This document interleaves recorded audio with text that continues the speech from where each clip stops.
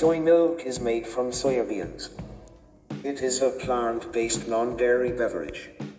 There are many reasons why people choose soy milk instead of dairy.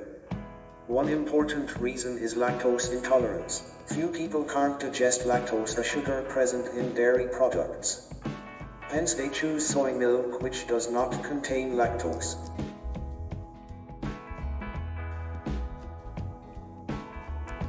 One cup of unsweetened soy milk has about 80 to 100 calories, 4 grams of fat, 4 grams of carbohydrate, 7 grams of protein and has no lactose.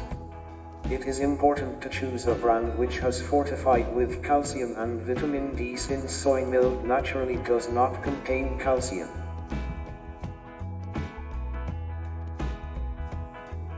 One cup of whole cow's milk has 150 calories, 12 grams of carbohydrate, 8 grams of fat, 8 grams of protein.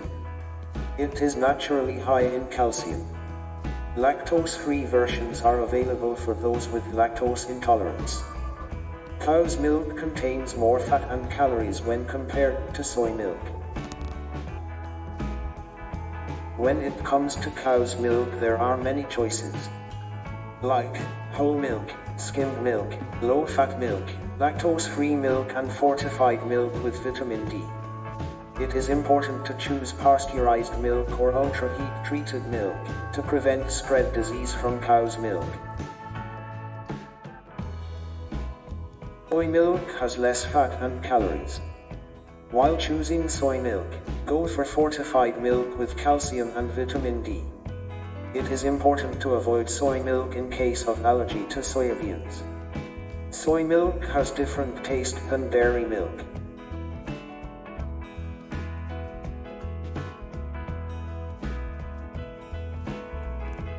Overall, soy milk is better for those who want to reduce fat intake, those who are lactose intolerant or those who do not like cow's milk. However, if you want to avoid calories, it is important to choose soy milk with no added sugar.